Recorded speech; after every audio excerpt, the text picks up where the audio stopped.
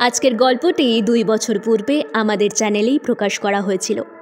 কিন্তু কিছু যান্ত্রিক ত্রুটির জন্যে গল্পে বেশ কিছু খুঁত আমাদের নজরে পড়ে এবং সেই অংশটুকু আমরা পরিবর্তন করে আজ আবার প্রকাশ করছি।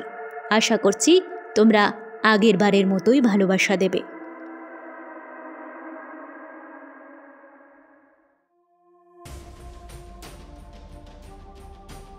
নমস্কার বন্ধুরা আমি শুভ স্বপ্না স্টোরি হলিক্সে তোমাদের আবারও জানাই স্বাগত। আশা করছি সকলে ভালো আছো। আচ্ছা বন্ধুরা, কপালে তিলক, মাথায় বড় সড় জটা। বয়স ওই ধরো ষাট বা সত্তর পেরিয়েছে।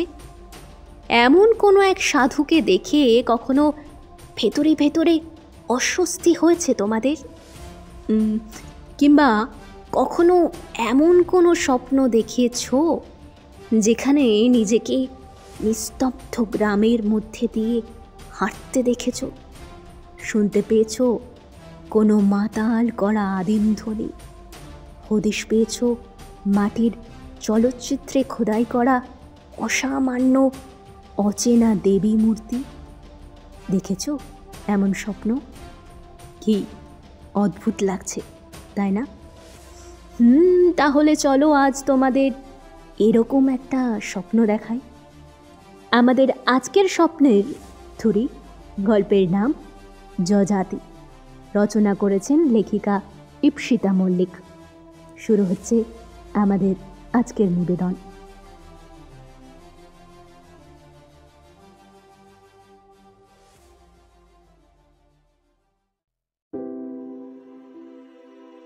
আজ অনেক দিন হলো, আভার মামা বাড়ি যাওয়া হয়নি। সেই কবে উচ্চ মাধ্যমিক পরীক্ষা দিয়ে গিয়েছিল, আর আছে ইঞ্জিনিয়ারিং পাশ করে প্রাইভেট সংস্থায় কর্মরত। আভা ছোট থেকেই স্বল্পভাষী। প্রয়োজনের বেশি কথা সে বলে না। মামা বাড়িতে নিঃসন্তান মামা মামিমা রয়েছেন। সেখানে গেলে তার আদর যত্নের কোনো ত্রুটি হয় না। কলকাতা ট্রাম ডিপো থেকে দু ঘণ্টার বাস রাস্তা, বাস থেকে নেমে আধ ঘণ্টা অটোতে, তারপর নেমে মিনিট পনেরো হাঁটা পথ। সকালে তাড়াতাড়ি বেরিয়ে পড়েছিল আভা। বাসে উঠে জানলার ধারের সিটে বসল।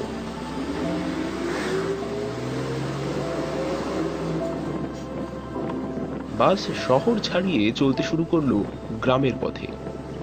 দুপাশে ধানের ক্ষেত আর রাস্তার পাশে সারি সারি গাছ। এই দেখতে দেখতে কখন যে সে ঘুমিয়ে পড়েছিল মনে নেই। ঘুম ভাঙলো কন্ডাক্টরের ঠেলায় ও দিদি ভাড়াটা? ও হ্যাঁ দিচ্ছি। কত টাকা যেন দাদা? কোথা থেকে? কলকাতা থেকে মল্লপুর। পঁচিশ টাকা। ভাড়া মিটিয়ে ঘড়ির দিকে তাকালো আভা। প্রায় দেড় ঘণ্টা হয়েছে বাসে ওঠার। আর মাত্র কিছুক্ষণ। বাইরের দিকে তাকিয়ে ভাবতে লাগল। ওর দেখা সেই অদ্ভুত স্বপ্নের কথাটা। আভা দেখেছিল, সে এক নিস্তব্ধ গ্রামের মধ্যে দিয়ে হাঁটছে। দুপাশে কুড়ে ঘর, কিন্তু সব ঘরগুলোই ফাঁকা। হাঁটতে হাঁটতে সে এসে দাঁড়ায় মাটির বাঁধানো দালানের সামনে। ধুনোর ধোয়ায় ভরে আছে দালানটা। এর এক পাশে রয়েছে নাগারার মতো বাদ্যযন্ত্র। সামনে এগিয়ে দেখল দালানের লাগোয়া একটা ঘর, যেখানে মাটির চালচিত্রে খোদাই করা আছে এক দেবী মূর্তি। নৃত্যের ভঙ্গিতে দাঁড়িয়ে আছেন তিনি। চার হস্তের একটিতে অর্ধ ফোঁটা পদ্মফুল, অন্য হাতে বড়া ভয় মুদ্রা বাকি দুটি হস্তে নৃত্যের কলা। যা ঊর্ধ্বমুখে প্রসারিত। দুপায়ের একটি মাটিতে, অন্যটি হাঁটু ভাঁজ করে উপরে তোলা। এসব দেখলে দেবী সরস্বতীর কথা মনে হয়। কিন্তু দেবী সরস্বতীর হাতে তো বিনা থাকে, তা তো এনার নেই। এই ধারণা আরও সুস্পষ্ট হয় পায়ের কাছে থাকা বিড়ালটাকে দেখে।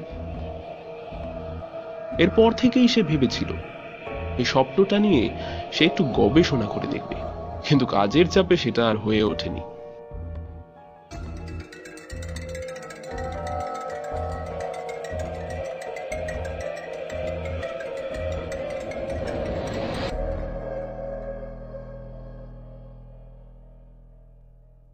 বাস থেকে নেমে মাকে ফোন করে উঠে বসল অটোতে।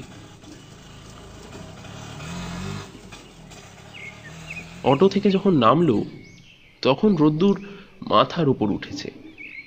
কত বদলে গেছে চারিদিক। দুপাশের ফাঁকা জায়গাগুলোতে দোকান, রাস্তায় ল্যাম্পপোস্ট, অনেক কিছুই নতুন লাগল। এইসব দেখতে দেখতেই হাঁটছিল। তখন চোখে পড়ল শ্মশানের দিকটা। মামা বাড়ি যাওয়ার এই একটি মাত্র পথ। এই পথেই পড়ে শ্মশানটা।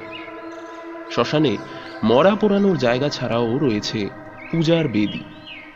সেখানে চৈত্র মাসে শ্মশানকালী পুজো হয়। সেই বেদির সামনে হোমকুণ্ডকে কেন্দ্র করে বসে আছেন অনেকেই। আর একটু সামনে আসতে দেখতে পেল এক সাধু রয়েছেন বসে। মাথায় জটা, কপালে তিলক, চোখ বন্ধ। আভার মনে কেমন একটা অস্বস্তি শুরু হলো। তাই সে দ্রুত পায়ে শ্মশানের সামনে দিয়ে চলে এলো।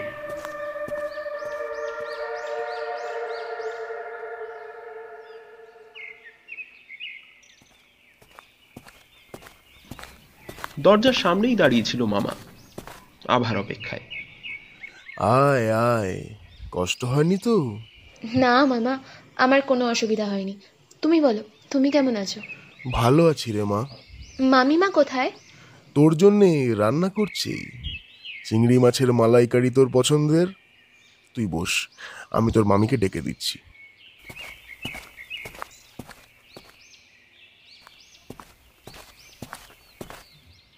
কিরে মামিকে মনে পড়ল? হ্যাঁ পড়েছে। কেমন আছো মামিমা? সব ভালোই আছে। শুধু কোলটাই ফাঁকা। আভা বেশ ভালোই বুঝতে পারে। এক সন্তানহীন দম্পতিকে সমাজের কত কথা শুনে চলতে হয়। তার উপর আবার বাজা অপবাদ তো শুধু মেয়েদেরই শোনানো হয়। আর যদি ছেলে সন্তান দিতে অক্ষম হয়, তখন সমাজ চুপ। আছে কি কোনো অপবাদের জন্য?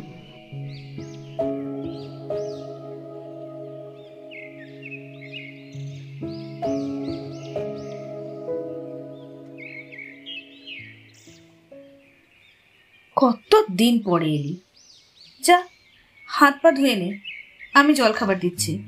খাবারের কথা শুনে আভার পেটটা মোচড় দিয়ে উঠল। সেই সকালে চা বিস্কুট খেয়ে বেরিয়েছে।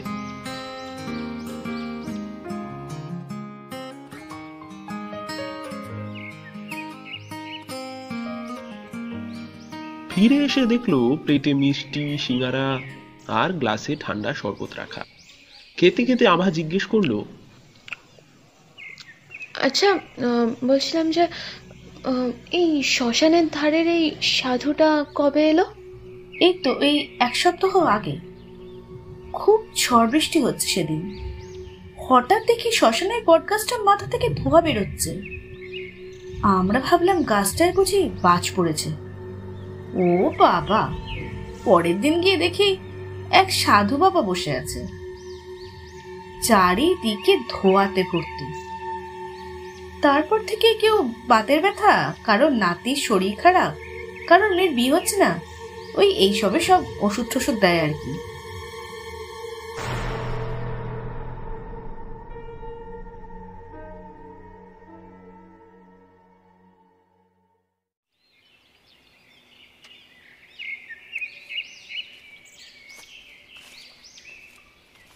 দুপুরে খাওয়ার পর একটা লম্বা ঘুম দিয়ে আভা মাঠের ধারে হাওয়া খেতে আসে। মাঠটা শ্মশানে যাওয়ার রাস্তায় পড়ে। কিছুক্ষণ বসে থাকার পর আভার মনে হয় তাকে যেন কেউ দেখছে। এমনিতে এইদিকে লোক তখনই আসে যখন মেন রোডে যাওয়ার দরকার পড়ে। আশেপাশে তো কেউ নেই। তাহলে এইরকম মনে হওয়ার কারণ? সে ঠিক বুঝতে পারে না। নেহাতি মা জোর করেছিল তাই এসেছে। নয়তো মাকে ছেড়ে হাসার ইচ্ছা তার ছিল না। হঠাৎ তার শ্মশানের দিকটা থেকে ঘুরে আসার কথা মনে হলো।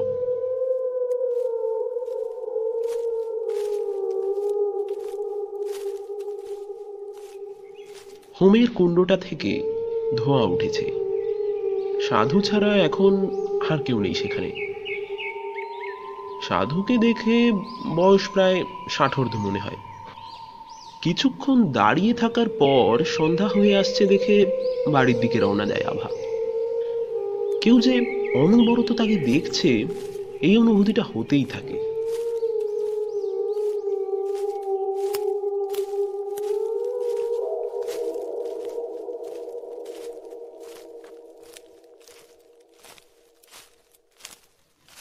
কিছু দূর আসার পর একটা মেয়েকে সে সামনে থেকে ছুটে আসতে দেখে। মেয়েটার চুলগুলো উস্কো খুস্কো গায়ে ময়লা জামা কাপড় আভাকে দেখে সে হাত জড়ো করে কিছু একটা অনুরোধ করার চেষ্টা করে, কিন্তু মেয়েটা হাবা। এরপর সে যেভাবে এসেছিল, আবার সেভাবেই মাঠের দিকে ছুটে যায়। আভা ভয় পেয়ে বুঝতে পারে না কি করা উচিত। সেও বাড়ির দিকে দৌড় লাগায়।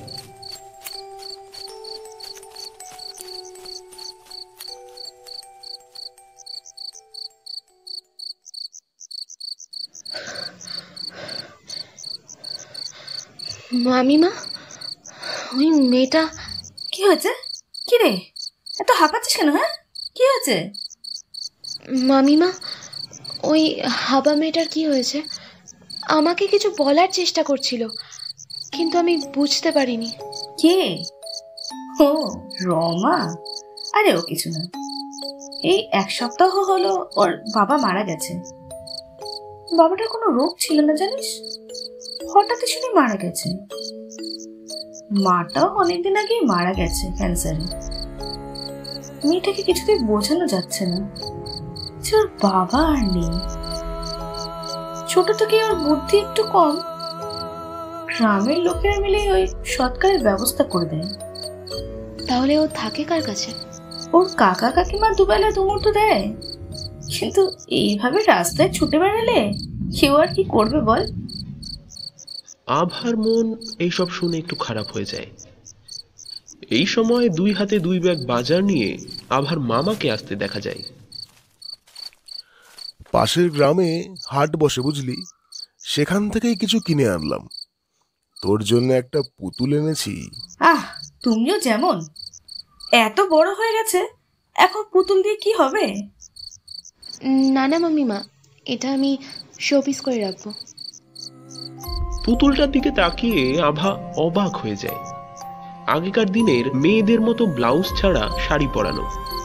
দুদিকে দুটি বেনুনি। টানা টানা সুন্দর দুটো চোখ।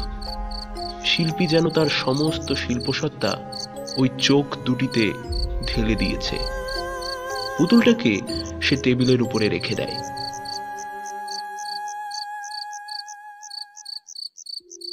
রাতে খাওয়া শেষ করে সে স্বপ্নে দেখা সেই দেবী মূর্তিকে ইন্টারনেটে খুঁজতে থাকে।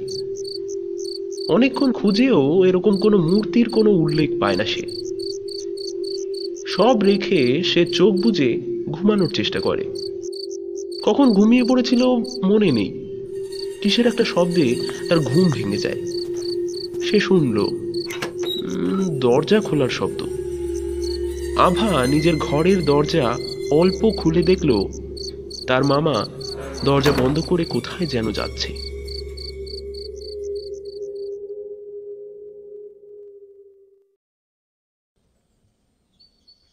সকালে উঠে মামাকে কাগজ পড়তে দেখে আভা জিজ্ঞেস করে মামা তুমি কাল রাতে কোথাও গিয়েছিলে? আমি তো কাল সন্ধেবেলা বাড়ি ফেরার পর কোথাও যাইনি। ও আচ্ছা আমি বোধহয় তাহলে ভুল দেখেছি। কথাটা বলার পর আভার নিজেকেই কীরকম বোকা বোকা লাগল। এত বড় ভুল দেখল সে, আর মামাই বা কথাটা এরকম এড়িয়ে গেল কেন?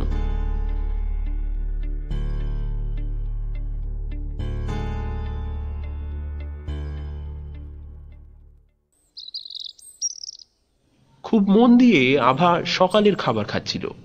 মামিমা বলতে শুরু করে তুই খেয়ে নিলে আমরা একবার বেরোবো। কোথায় যাব মামিমা? ওই শ্মশানের ধারে সাধুটার কাছে। এটা শুনে আভা কিছুক্ষণ চুপ করে গেল। মামিমাকে সে বলতে পারে না তার অস্বস্তির কথাটা।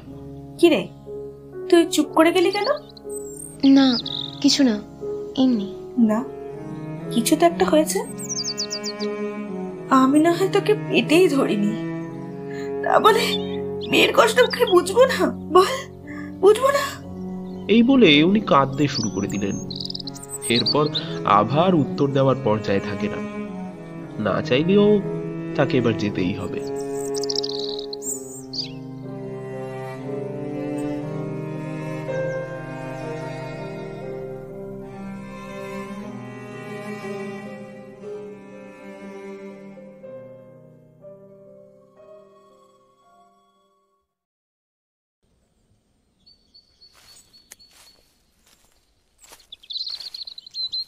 শ্মশানের কাছে আসতেই দেখল আগের দিনের মতো অনেক লোক বসে আছে।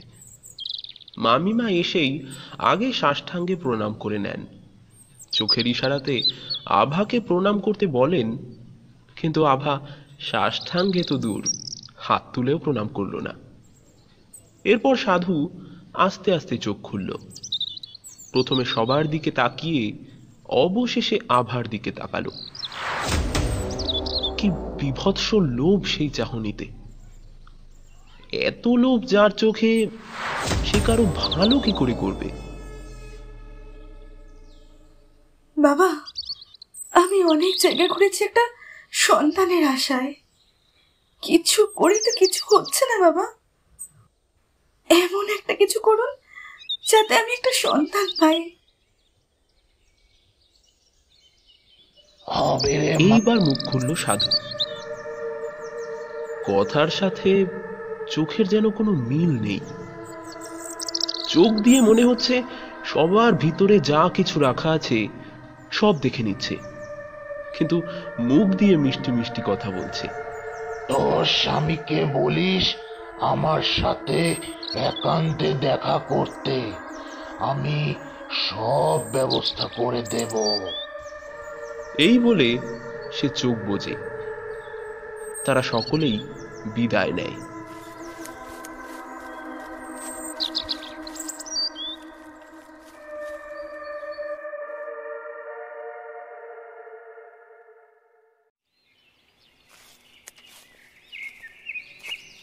ফেরার পথে আভার চোখ যায় ঝোপের দিকে। কি একটা নড়ছে না? কাছে গিয়ে দেখতে পায় একটা বিড়াল। সে মামিকে এগিয়ে যেতে বলে। তারপর কিছুক্ষণ দাঁড়িয়ে দেখে বিড়ালটাকে। ফুটফুটে সাদা, ছোট্ট একটা বিড়াল। আভা বিড়ালটাকে হাতে তুলে আদর করতে করতে বাড়ির দিকে চলতে শুরু করে। রাস্তায় কয়েকজন যে তার দিকে অবাক দৃষ্টিতে তাকিয়ে আছে, সে সেটা খেয়াল করল না। বিড়ালটাকে নিয়ে সে সোজা ঘরে চলে আসে। তার ফোন হঠাৎ রিং হয়ে ওঠে।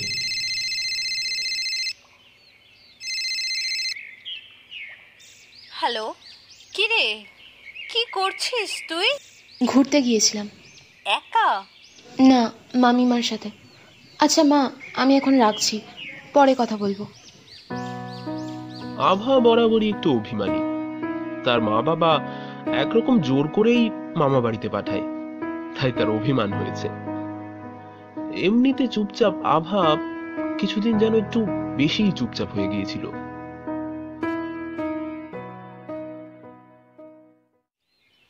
দুপুরে খাওয়ার সময় সে লুকিয়ে এক টুকরো মাংস সরিয়ে রাখে বিড়ালটার জন্য। কিন্তু ঘরে এসে দেখল, বিড়াল কই? ঘর তো পুরো খালি। চারিদিকে ভালো করে খুঁজে দেখল সে। আলমারির নিচে আলনার খাজে টেবিলের তলায়। টেবিল দেখতে গিয়ে একটা জিনিস চোখে পড়ল তার। মামার দেওয়া সেই পুতুলটা টেবিলে নেই।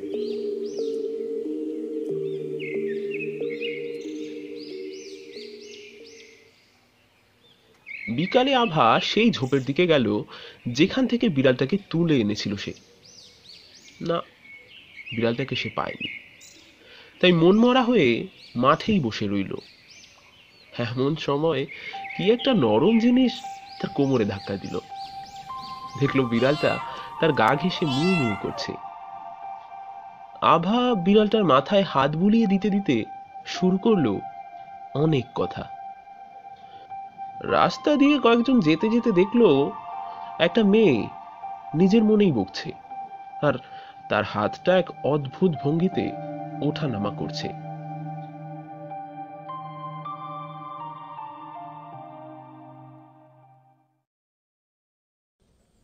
পরের দিন তার মামিকে এক প্রতিবেশী জিজ্ঞেস করল।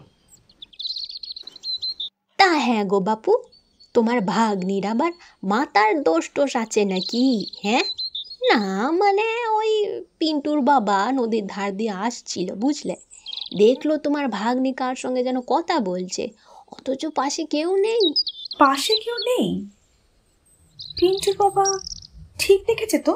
ও গো হ্যাঁ গো হ্যাঁ অমন দিনের আলোতে কেউ ভুল দেখবে নাকি? এটাও তো হতে পারে। যেখানে ইয়ারফোন ছিল আর পিন্টুর বাবা সেটা খেয়াল করেনি। গলাটা শুনে তার মামিমা পিছনে ফিরে দেখল আভা দাঁড়িয়ে আছে। আভার গলার এত দৃঢ়তা এই প্রথম শুনল মামিমা। এটা বলেই সে ঘরে চলে যায়।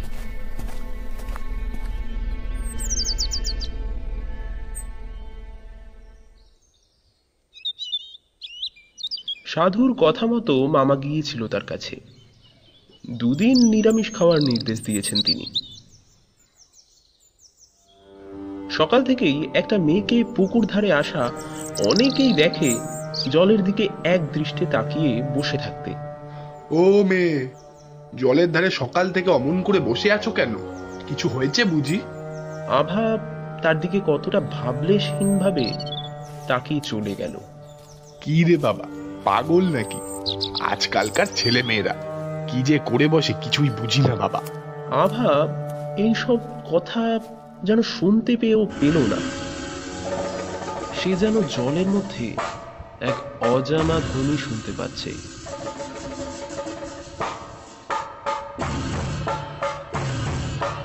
কোনো মানে আছে কি এই ধ্বনিটার আর কি পাবে সেটা শুনতে?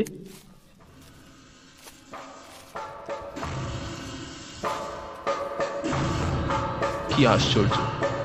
জলের কাছ থেকে চলে এসেও সে শুনতে পাচ্ছে ধ্বনিটা কেমন একটা মাতাল করা ছন্দ সেটার সারা শরীর জুড়ে একটা শিহরণ অনুভব করতে পারছে সে।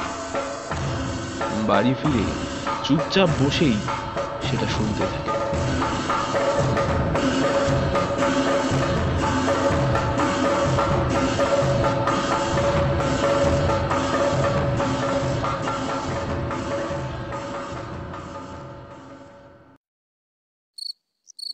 সেদিন রাত্রে আভা আবার সেই স্বপ্নটা দেখে। সেই গ্রাম, সেই ঘর, সেই দালান, চারিদিক জুড়ে এক অদ্ভুত নীরবতা। আজ সে লক্ষ্য করল, দেবী মূর্তির গলায় সুতো দিয়ে ঝোলানো আছে একটা লকেট। ঠিক কি ধাতুর বানানো, সেটা সে বুঝতে পারল না। কালচে রঙের লকেটের মাঝে একটা বট গাছের ছবি। তার থেকে বড় বড় ঝুড়ি ঝুলছে। এই রকম গাছ সে কোথায় যেন দেখেছে? লকেটে অল্প শ্যাওলা ধরেছে। হঠাৎ তার কানে ভেসে এলো আর্তচিৎকার। কোথাও যেন কারা মৃত্যুর কোলে ঢলে পড়ার আগে শেষ চিৎকার করছে। দেবীর দিকে ফিরে তাকাতেই খেয়াল করল, সুতো ছিঁড়ে গেছে। লকেটটা আর নেই। আর দেখতে পারল না আভা চোখ খুলতেই সব শান্ত। এই তো আভা শুয়ে আছে বিছানাতে। কিন্তু কি অসম্ভব ভয় পেয়ে কাঁপছে সে। এটা কি তাহলে কিছু ইঙ্গিত ছিল? কিছু কি ঘটতে চলেছে তার সাথে?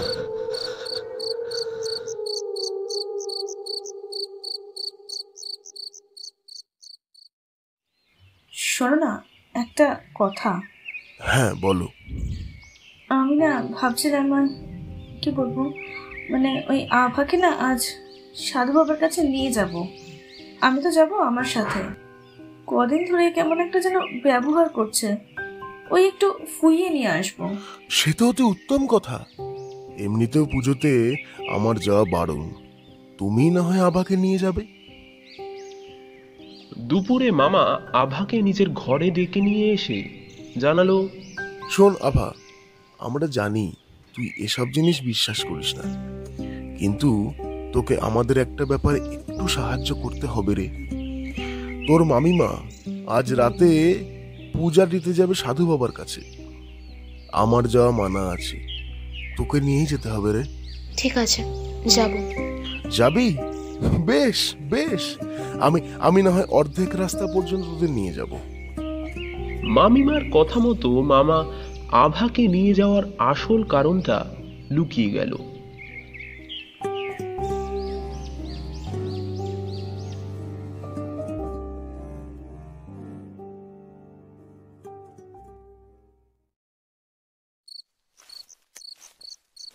রাত হতেই ফুল, ফল, ধূপ, মোমবাতি এবং পুজোর আরও কিছু সামগ্রী নিয়ে তারা শ্মশানের দিকে যেতে শুরু করল। আবার মামা তাদের অর্ধেক রাস্তা এগিয়ে দিয়ে ফিরে এলেন। আভা পিছনে আর মামিমা আগে আগে চলেছেন। তার মামা ছেড়ে যাওয়ার পর থেকেই মামিমা কেমন যেন ভয় পেতে শুরু করল। একে তো এত রাত, তার উপর আবার কোথা থেকে একটা আওয়াজ আসছে? শুনতে পেলেও ভয়টা তিনি প্রকাশ করলেন না। শুনে আভা যদি আবার ভয় পায়? শ্মশানে পৌঁছে দেখা গেল পুজোর আয়োজন হয়েছে। সিঁদুর মাখানো কুণ্ডে আগুন জ্বলছে। পাশের পাত্রে কালো সর্ষে আর সাদা তিল রাখা। কুণ্ডের সামনে লাল কাপড়ে মুড়ে কি একটা শোয়ানো? আর অন্য বস্তুটা দাঁড় করানো। সাধু চোখ বুঝেই হুঙ্কার দিল। মামিমা পুজোর থালা নিয়ে উঠতে যাবে এমন সময় সেই চোখ বুঝেই সাধু হুঙ্কার দিল। তুই নয়! বাবা ক্ষমা করবেন। কিন্তু আপনার কোথাও একটা ভুল হচ্ছে মনে হয়। অপেক্ষা কর সব বুঝে যাবি। মামিমা কি করবেন বুঝতে না পেরে আভার দিকে তাকিয়ে ভয় পেয়ে গেলেন। আভা তার মুখটা বুকের মধ্যে গুজে বসে আছে। আভা? আভা? কি হয়েছে তোর? এমন করছিস কেন? হ্যাঁ? মামিমা আভার হাত ধরে ঝাঁকাতে থাকল। এর সাথে শুরু হলো সাধুর অট্ট হাসি পুরো শ্মশান কাঁপিয়ে দিল সেই বিকট হাসিতে।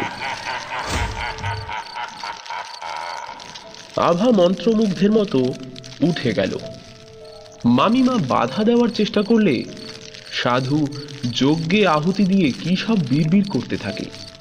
মামিমার হাত পা নড়া সব বন্ধ হয়ে যায়। শুধু একটা অস্ফুট আর্তনাদ ভেসে আসতে থাকে।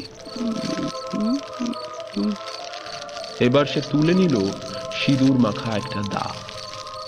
এতক্ষণে আভা মুখ খুলল। কেন করছিস এইসব? তুই আমাকে কোনোদিনও পাবি না।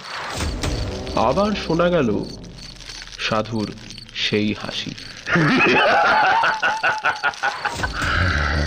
কি বললি?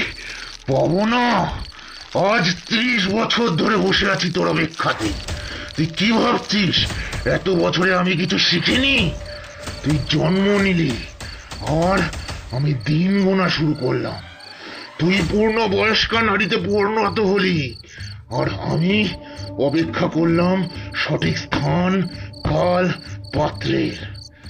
তুই আসার আগে থেকেই জানতাম, তুই এইখানে আসবি। তাই তো এখানে অপেক্ষা করে বসে আছি। তোর মামা নিজেই আমার কাছে এসে ধরা দিল। সন্তান চাই। মূর্খ। ওর সন্তান কোনো দিন হবে না। কিন্তু আমার সুযোগ আমি হাতছাড়া করিনি। শনিবার নিশুতি রাতে আমাকে সব পূজার সামগ্রী দিয়ে গেল। ওই পুতুলটাও আমি তোকে দিতে বলি। ওটা মন্ত্রভূত তোর মামা শুধু আমার বলা দোকান থেকে ওটা কিনে নিয়ে আসে। সন্তানের জন্য অন্ধ। তোর মামা জিজ্ঞাসাও করে না। ওটা তোকে কেন দিতে হবে? আমি তো তোকে ওটা দিয়ে দেখছিলাম। কি সুন্দর রূপ নিয়ে জন্মেছিস। কিন্তু তারপর কে যেন ওটা সরিয়ে দিল। সে যাই হোক, তুই তো আমারই জিনিস। কতদিন আর দূরে থাকবি?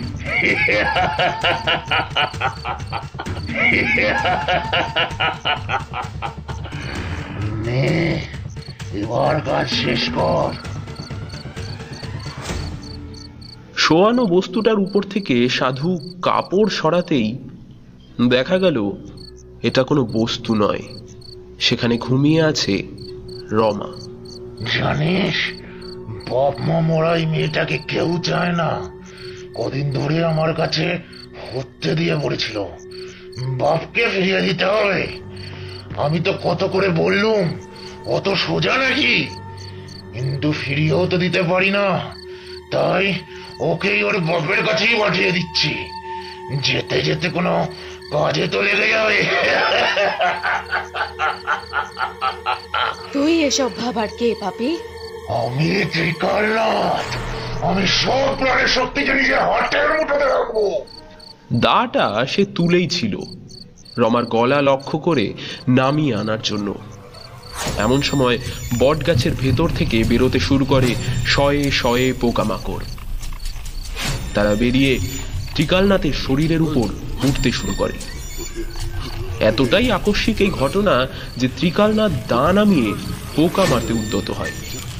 যতই সে মন্ত্র পড়ে, ছুঁড়ে পোকাগুলোকে আগুনে ফেলে দেয়, ততই বেশি করে এরা বেরিয়ে আসে। একসময় ত্রিকালনাথের শরীর আর দেখা যায় না। শুধু কালো কালো সব পোকা তাকে জড়িয়ে ধরে। শোনা যায় তার অন্তর্ভেদী চিৎকার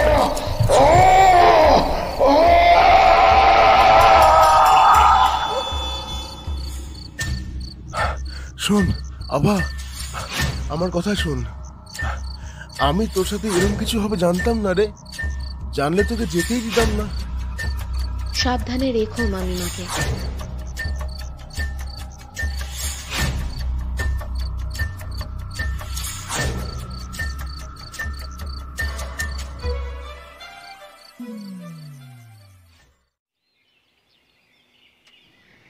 সকালবেলা গ্রামের লোকেরা সাধুর মৃতদেহ খুঁজে পায়।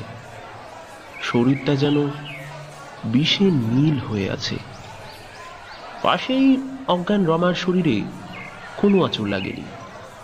গ্রামবাসীরা ভাবে, এই সাধু নিশ্চয়ই তাকে কোনো কুমতলবে এখানে নিয়ে এসেছিল। তাই তাকে উচিত শাস্তি দিয়েছে ভগবান। রমাকে তারা ধরাধরি করে বাড়ি নিয়ে যায়।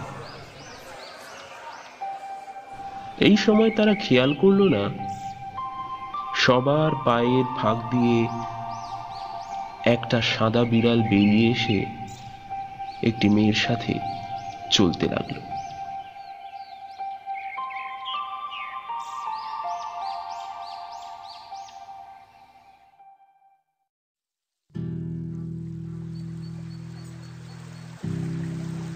কুলকুল করে বয়ে যাওয়া নদীর ধারে বসে সে শুনছিল শতাব্দী প্রাচীন সেই গাথা। কত কিছু শিখেছিল তারা এই প্রকৃতিতে মিশে। তাদের সত্তা এই বিশ্ব জগতের সাথে মিলে মিশে একাকার হয়ে যেত। নদীর পাশে ঘন বনের রাস্তা ধরে সে চলতে শুরু করল। ফুটফুটে সাদা রঙের প্রাণীটা তাকে পথ দেখিয়ে নিয়ে যাচ্ছে। কত নাম না জানা গাছের বন পেরিয়ে সে এক উপত্যকার সামনে এলো।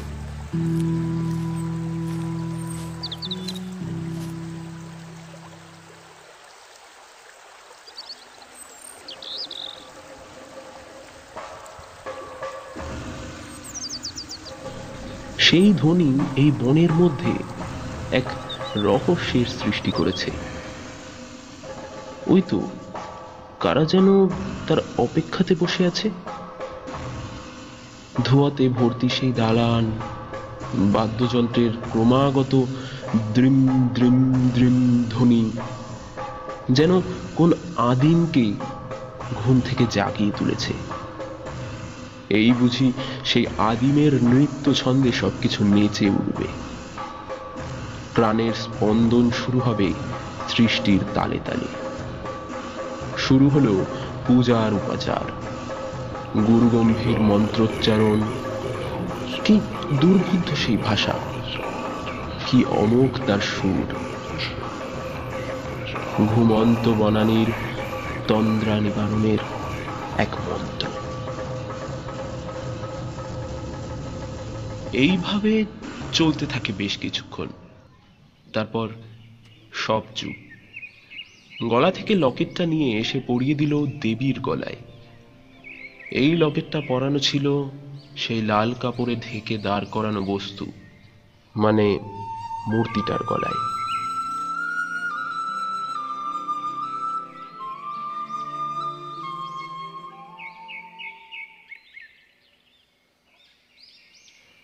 মেয়েটা আজ তিন দিন ধরে নিখোঁজ। জানি না চাটুর্যে মশাই কি করব।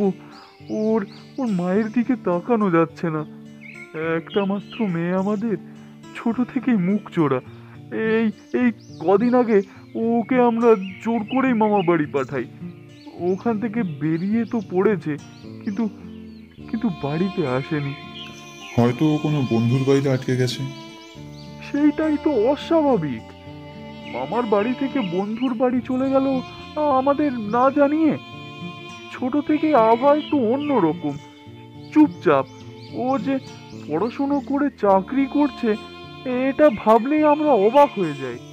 আহা, অত চিন্তা করবেন না, যা হয় ভালোর জন্যই হয়।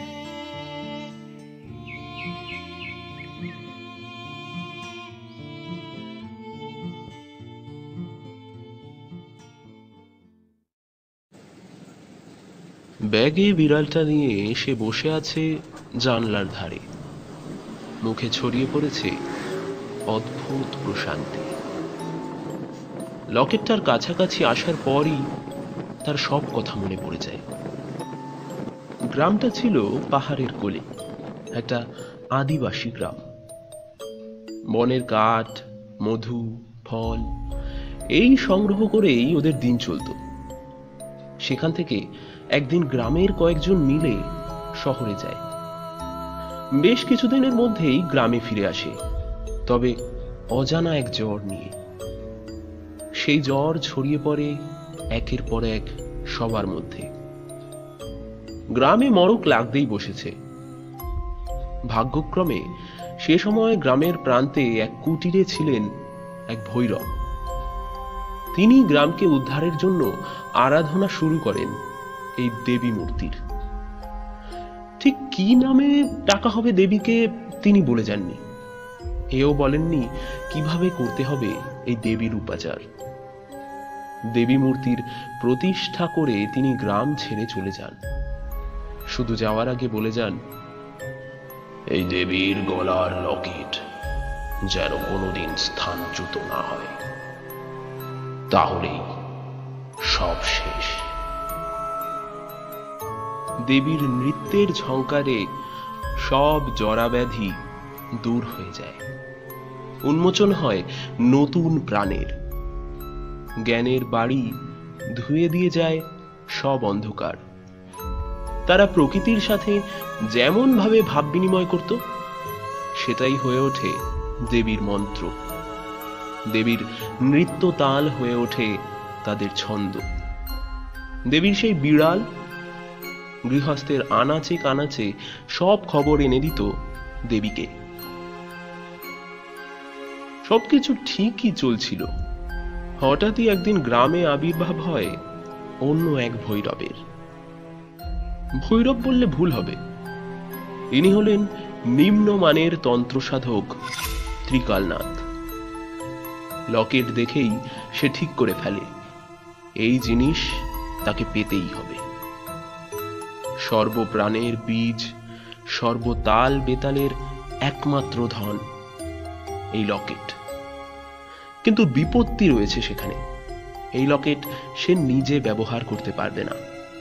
কারণ প্রাণকে ধারণের ক্ষমতা একমাত্র নারীরই থাকে। তাই এমন একজনকে খুঁজতে শুরু করে যে এর উপযুক্ত, যাকে সে ব্যবহার করতে পারবে।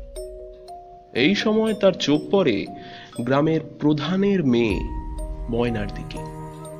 শুধু তো লকেট ব্যবহারেই নয়, আরও কত কাজে তাকে লাগানো যাবে, এই ভেবে সে প্রধানের কাছে যায়। প্রধানকে জানায়, সে তার মেয়েকে ভৈরবী হিসাবে গড়ে তুলতে চায়। কিন্তু প্রধান তার মেয়েকে দিতে রাজি হয় না। সে তাকে বোঝায় যে তার মেয়ের ভৈরবী হবার সব গুণই বর্তমান। কিন্তু উল্টে প্রধান রেগে গিয়ে তাকে গ্রাম ছাড়া করার হুমকি দেয়, যদি সে নিজে থেকে চলে না যায়। অপমানিত ত্রিকালনাথ চলে তো যায়, কিন্তু সঠিক সময়ের অপেক্ষা করতে থাকে।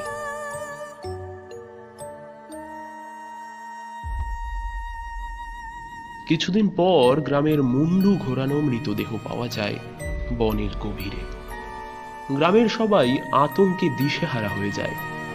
ঠিক তখনই গ্রামে আবার আবির্ভাব হয় ত্রিকালনাথের। প্রধানের সাথে ঘটে যাওয়া ঘটনা সে কাউকেই জানায়নি। গ্রামের সবাইকে একসময় এই রকমই কোনো এক ভৈরব বাঁচিয়েছিল। তাই গ্রামের লোকেদের বিশ্বাস অর্জন করতে বেশি সময় লাগেনি ত্রিকালনাথের। সে সবাইকে বোঝায় প্রধানের মেয়ে ময়না আসলে একটা ডাইনি। সে প্রথমে তার বাবাকে মেরেছে, এরপর একে একে গ্রামের সকলকে মেরে ফেলবে। তাই তাকে দেবীর কাছে বলি দিতে হবে। এর সাথে এও জানালো, তার আরেকটি মেয়ে লাগবে, যে পুজোর কাজে তাকে সাহায্য করবে। সবাই সেই ব্যবস্থা করেও দিল। প্রধানের মেয়ে, অর্থাৎ ময়নাকে শক্ত করে বাধা হয় দড়ি দিয়ে। শুরু হয় পূজা। বাধা অবস্থাতেই ময়নার বারবার মনে হলো, কোথাও কিছু একটা গন্ডগোল হচ্ছে। তার সন্দেহ সত্যি হলো যখন সে দেখল তার বন্ধু ঝুমনাকে পরানো হচ্ছে মালা। মালা তো যাকে বলি দেওয়া হয়, তাকেই পরানো হয়। সে চিৎকার করে বলতে চেষ্টা করে, কিন্তু তার মুখ বাধা। কেউ শুনতে পায় না। বলির রক্তে এক প্রাণ থেকে অন্য প্রাণে প্রতিষ্ঠা করা হবে সেই লকেটকে।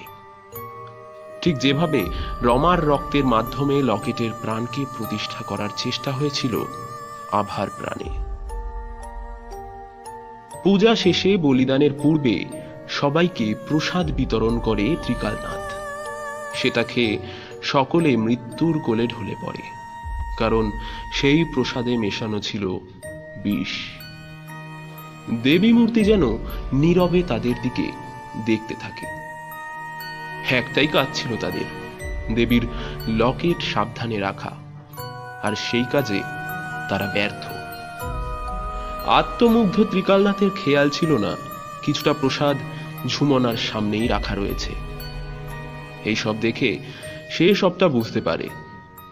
একটু প্রসাদ নিজে খেয়ে বাকিটা ভরে দেয় ময়নার মুখে। যতক্ষণে ত্রিকালনাথ সেটা খেয়াল করল, ততক্ষণে সব শেষ হয়ে গেছে।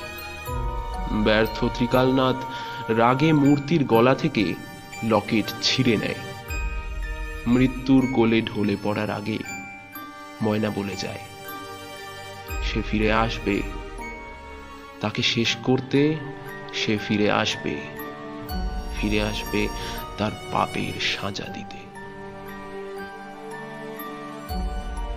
এরপরে ত্রিকালনাথ অনেক চেষ্টাই করেছিল এই লকেট ধারণের, কিন্তু প্রতিবারই সে ব্যর্থ হয়েছে। সে অপেক্ষা করতে থাকে, তার অন্তিম পরিণতি এখন আর কারও অজানা নয়।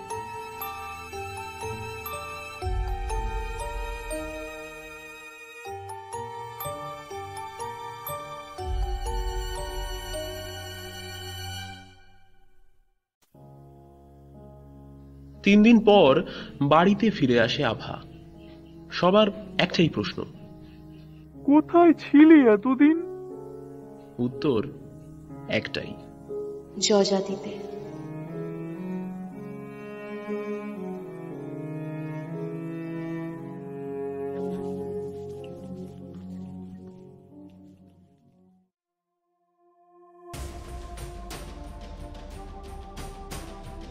এতক্ষণ তোমরা শুনছিলে স্টোরি হলিক্সের আজকের নিবেদন।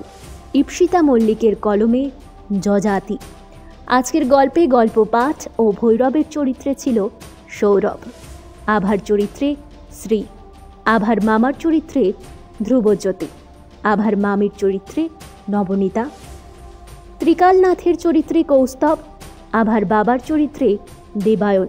আভার মায়ের চরিত্রে জয়শ্রী। চাটুজ্জে মশাইয়ের চরিত্রে সোমনাথ। গ্রামের লোকের চরিত্রে প্রান্তিক। বাস কন্ডাক্টরের চরিত্রে দেবাশিস এবং প্রতিবেশীর চরিত্রে আমি শুভ স্বপ্না আজকের গল্পের পোস্টার ডিজাইনিংয়ে শুভায়ন। সাউন্ড এডিটিং ও মিক্সিংয়ে সৌরভ। সমগ্র পরিকল্পনা এবং পরিচালনায় সাহেব। কেমন লাগল বন্ধুরা আমাদের আজকের বিশেষ নিবেদন? অবশ্যই কমেন্ট করে জানাও। ভালো লাগলে ভিডিওটাকে লাইক করো এবং শেয়ার করো তোমার ভালোবাসার মানুষের সঙ্গে। আর হ্যাঁ আরেকটা কথা, আমাদের গলার স্বর যদি তোমার কাছে নতুন হয়ে থাকে, তাহলে অবশ্যই চ্যানেলটাকে সাবস্ক্রাইব করে বেল আইকনটা প্রেস করে রেখো এবং আমাদের পাশে থেকো। যাই হোক, তাহলে আজকের মতো এখানেই শেষ করছি আমরা। খুব শীঘ্রই ফিরে আসব। আবারও একটা ভিন্ন স্বাদের নতুন গল্প নিয়ে। ততক্ষণের জন্য সকলে সুস্থ থাকো, ভালোবাসতে থাকো আর শুনতে থাকো স্টোরি হলেক্স শুভরাত্রি।